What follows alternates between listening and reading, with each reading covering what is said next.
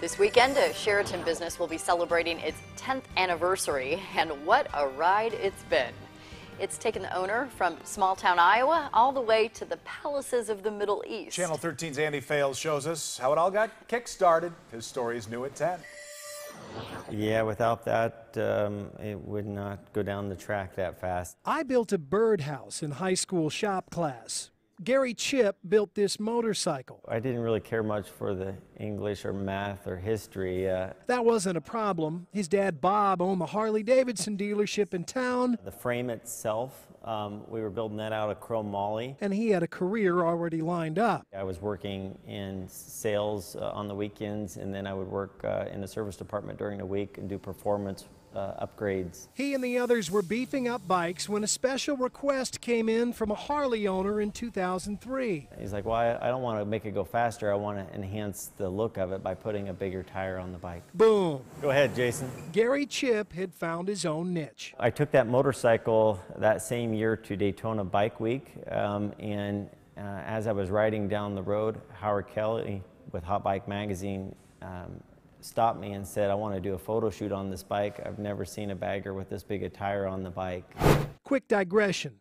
This is a bagger. Bags on back, rides better than other road bikes. A Softail, nothing wrong with Softail, great bike.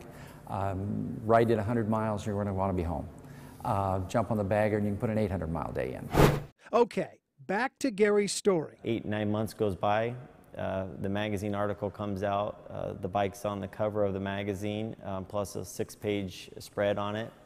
We had over 200 phone calls at my dad's Harley dealership. The article dubbed it the Fat Bagger, and the name stuck. Gary and his fledgling company were soon getting bikes from all over, fattening them up and sending them back out. Then he got creative. Started thinking, well, what if we installed a product like this while you wait? Fat Baggers turned a semi into a mobile shop and drove it to South Dakota to offer widening kits to the giant crowd at Sturgis. We couldn't install enough of it.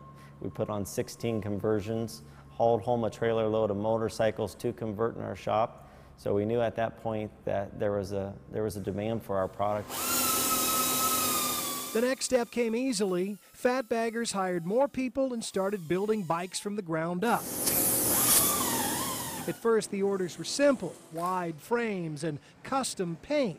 But then came the calls from the Middle East. And one of those people um, is, was based out of Lebanon. Fat Baggers bikes began heading to billionaire Prime Minister Saad Hariri in Lebanon.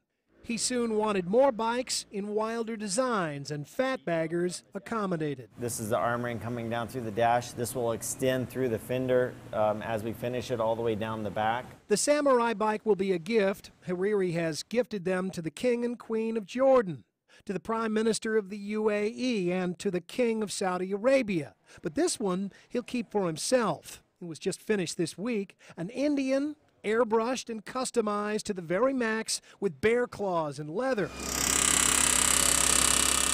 The engraved pipes are the work of Rick in the back, who does it all freehand and can spend 600 hours on one bike. The bike is art, but with one condition. Museum quality, but it's, uh, it's still a very writable, usable product. For 10 years now, Fat Baggers Inc. has been following that creed loud but livable. They have the ability to look at something and see how to make it better. And they've done a very, very good job at that. From shop class to first class shop, from Sheldon to the Middle East, one guy doing exactly what he was meant to do. Andy Fales, Channel 13 News. Wow. if you like what you see from Fat Baggers, maybe you think it looks like a cool place to work. Well, you're in luck. They've got six job openings in paint and body work. You're going to find their contact information uh, on their website, fatbaggers.com. It's easy to understand why they need to hire people. Yeah, it's the place. engraving. Wow, that's